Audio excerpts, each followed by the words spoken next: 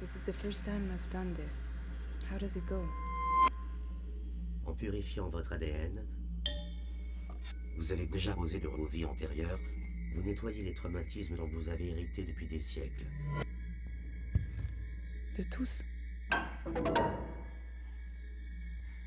be very dangerous to bring someone back to who they were a few years before. J'ai peur de.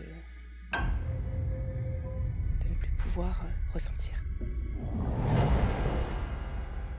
Il y a une bête prête à bondir.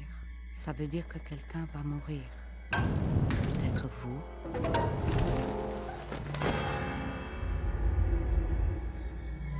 What is stronger? Your fear or your love for me? Because you think I love you. There must be beautiful things in this chaos.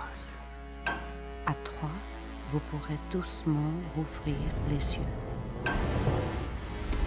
Un, deux,